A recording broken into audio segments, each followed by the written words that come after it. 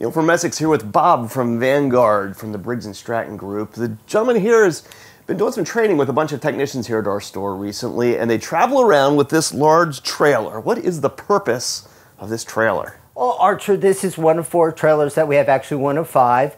And we go to events at dealers, distributors, and we show some of the products that we have. We do some training and we explain what the features are of some of our products. So we're going to spend some time walking around the trailer here, looking at the insides of some engines, talking about how they work, and also some of the technology that's coming into this stuff. You might assume that like small engines are a pretty established thing by this point, but it's interesting looking around here, the amount of things that they've been changing and working on. So join us here this morning. Maybe we'll teach you a little bit about Vanguard engines. A helping hand with your land. So this is the engine on my personal mower, actually. So this is the 40 horse EFI. Yes. What can you tell me about the oil guard system? Well, the oil guard system is based on a dry sump system similar to race cars. So it's putting a minimal amount of oil in the bottom of the engine to make it run efficiently. Then it's pumping the oil back out into this reservoir here. Reservoir starts, the oil comes in, it has an automotive style filter, so you have more capacity to catch the dirt. Then it works its way down through this aluminum five quart reservoir. Uh, aluminum has cooling capacities, so as it works its way down through here, it's cooling about 30 to 40 degrees, then it's reinserting back. So the cool, keeping heat out of the engine is giving the oil better health, the engine better health, and the five quarts, six quart total gives you the longevity of a 500 hour oil change. Uh, you know, saving on cost of ownership, uh, Yeah. less downtime. It's a great option. That extended oil change is an interesting thing to think about because so many of the people who are buying this equipment, uh, when they're commercial, put on huge amounts of hours and can hit those intervals really quickly. Uh, but even a lot of residential people too. That gives you, you know, is it okay to do every two years, three years? Uh, we probably or- recommend that you do it um, probably once a season. Okay. Uh, typically, you're not going to get 500 hours out of your um, out of other fluids that are in your engine. So once a season is usually good to do it. When you drop fluids, drop everything. yes. So you can see that would be the connection for oil guard down there at the bottom. So That's a sensor. Um, no, no. There's Pump just sensor? two pumps, and then one is a drain. Okay. One is, one is an evap. So this is actually, and you might be, want to swim in here. This is actually the bottom of the engine. So you see, there's two separate pumps here because there's one that's inserting the oil and there's one that's sucking it back out. Okay. So yeah, it's a unique sump that's in it. You know, plus it's a dry sump system. So non-interchangeable with a non-oil guard unit. All of the current system has an O2 sensor in it. Okay. O2 sensors are liable to breakage. They're very expensive to replace and all, but they give very important data to how the engine is running and how it puts the mix together to make it run efficiently. But over the years, we've been able to track that data and we're able to program a computer to be able to do it. So we're going to open loop effective. Actually, we're in process now. A lot of Ferris machines have open loop systems on it. So oil guard is not that we've seen for a long time now. This is a smaller version of it. Uh, same general idea. It's called Oil Extend. It's not a unique system where in the oil guard you have a dry sump system. This is not unique in any way to that. It is a different sump than a normal engine, just so that this unit attaches to its side of it. But it, it's a simple system that includes a automotive style filter similar to what's in the regular oil guard system. Easy, um, easy to change it, easy to maintain it, easy to do oil changes. The extra half a quart of oil that's in there, plus the fact of the same idea of taking the oil out of the engine and cooling it, putting it back in. Add that to some of the new features on the CXI engine heavy duty cam, high inertia flywheel. We have an engine that we're pushing out to be a 250 hour maintenance engine. Okay. Uh, downtime is something that guys don't want to have, but they still want their engine to perform properly. So this gives them the ability to keep guys out and make more money. Yeah, so really compact version of that that system. So this then you talked about cooling.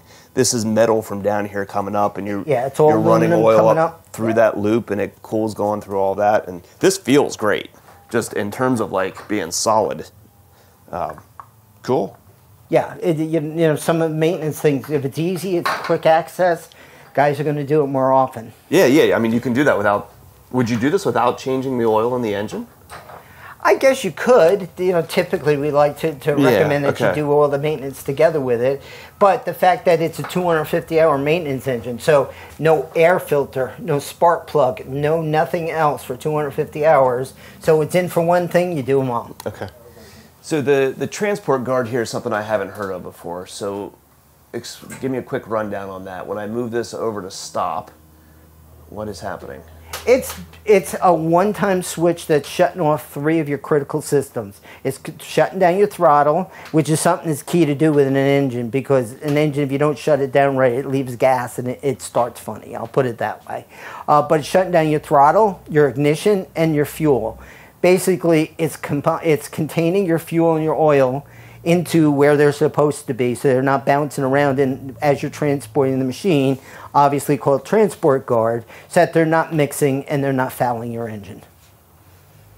Because of the way that these are modules we put them together to make a battery actually we can customize the, si- the shape and size of a battery package like in this case to fit into an application uh, obviously the you know the, the less unique it is the more simple it's like this Right. um, it just- Internally. it, it's a cost savings because we can mass make a size like this instead of customizing this.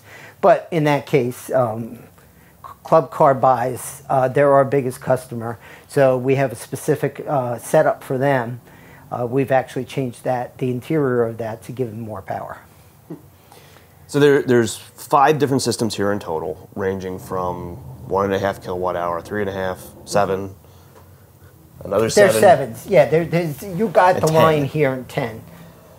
So i- as far as application goes at this point, you said this this is kind of like your golf cart type setup. Yes. Uh, the big one is that is that what is that running in at this point? Cur- currently, we don't have an application that we run this in. Okay. Um, it, it's it's large in size and to provide the power. Uh, it has to do with battery, um, with the weight and balance of a machine. Yeah.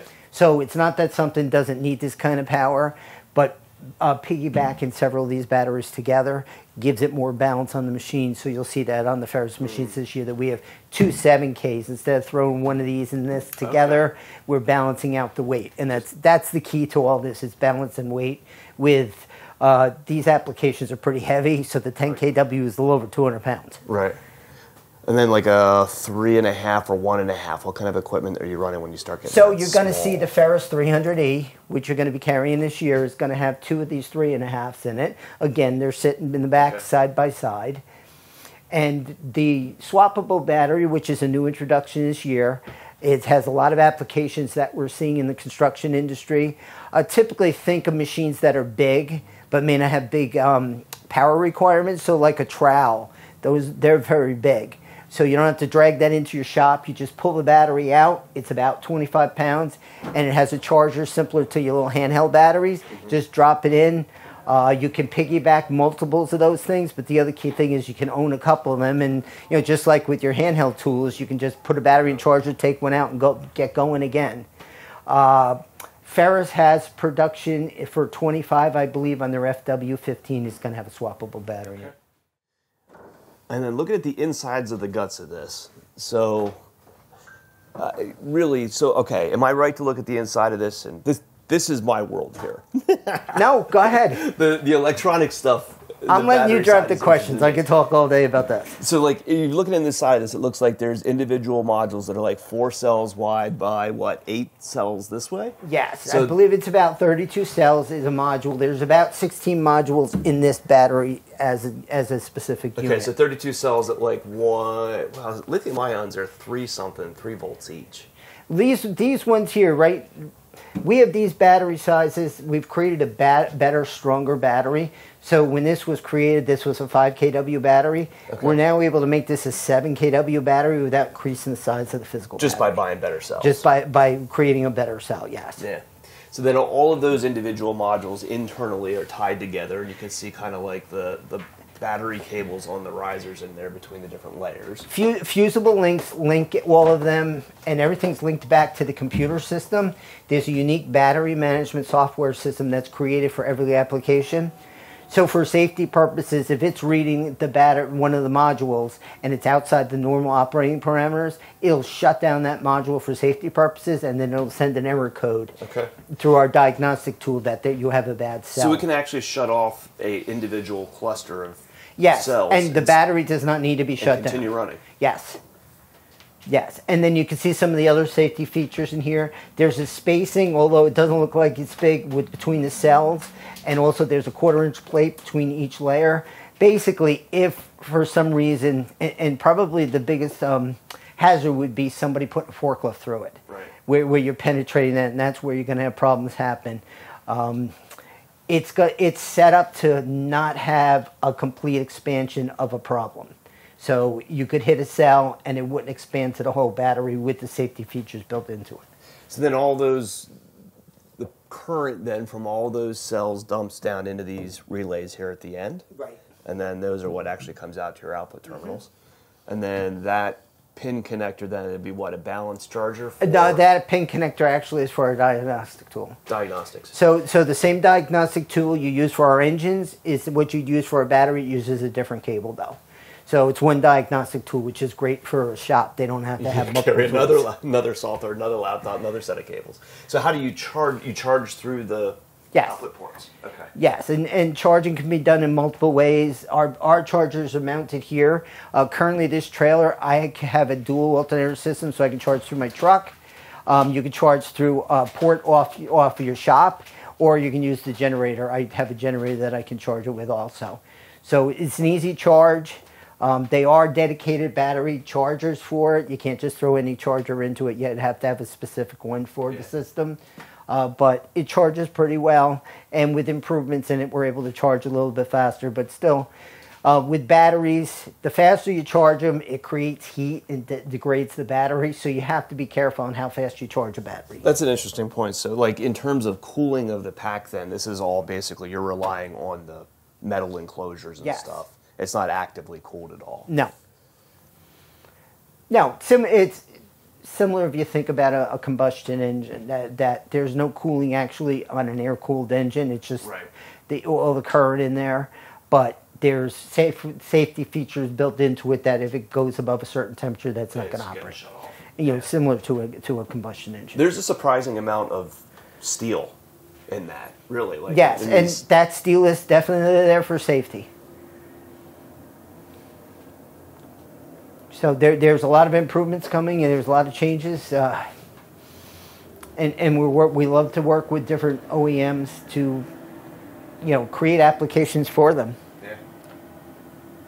Yes, the the building blocks of equipment essentially. Yes. Yes, it's not. I think battery battery has its place, uh, especially in the construction industry. You're working inside a building, you can't use a combustion engine. So that's where the battery is really dominating the market right now. Uh, typically, outdoor power equipment is outdoor, so we're not seeing the drive for that right now. Um, and cost can be a little bit on the higher side, but as we create more batteries and there's more demand for it, it's going to bring the price down. Yeah, it, it's cool from our perspective to be able to see like building blocks of this stuff offered by you guys that goes into a lot of different equipment because then we can work on all that equipment, Yes. right? With common connectors and common technologies and that kind of stuff versus everybody rolling their own. And, and currently we have uh, we're constructing our own controllers and chargers and everything. So what we're going to do is that if a company comes to us and wants a battery solution, we can offer them the complete solution. They don't have to go outside for other um, Yeah. ro- uh, motors or, or anything. These are firmly tested. We drop them. We submerge them in water. We we take pressure washers and we pressure wash the crap out of them to make sure that no moisture gets in them. That they're completely safe. Yeah. and that's you know a big concern in the market with lithium right now. So this was an older setup. This is the way they used to with like a cage around them. All of the batteries are set up in, in a sit- setup like this. In a metal enclosure. like Yes, that. a lot of questions that come about um, reliability and what do we do with them? More lithium in the, the landfill is what a lot of people say. So right now on the fixed batteries, which is these, uh, it's got 2,000 charge cycles. So we're figuring that to be a lifespan of about seven to 10 years. I'll be honest with you, in seven to 10 years, you're probably going to buy a new piece of equipment because before you're going to want to buy a battery. Um, if it's determined that one of the cells is bad, through our diagnostic tool, Briggs and Stratton will take the battery back and just replace it for the first couple of years. We haven't determined a program yet. Uh, we will have a certified battery technician program in the near future where we will have people certified to work on the battery. So we will take it back, we repair it, and then we have a secondary market that we sell it to so they don't become junk just because they need to be repaired.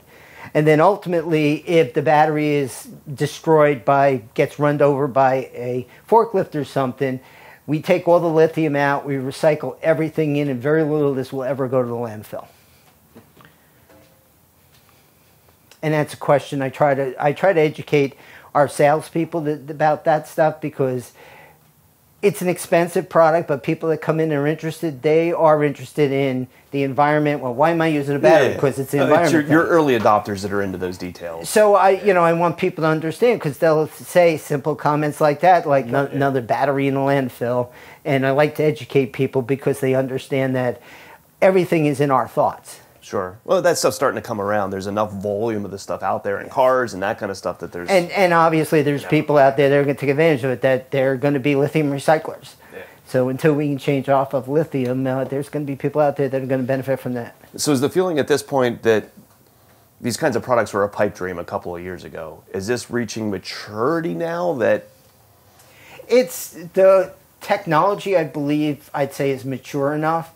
It's adoption of the product line. It's a cost of the product line, Yeah. and like we talked about about weight and balance of a machine.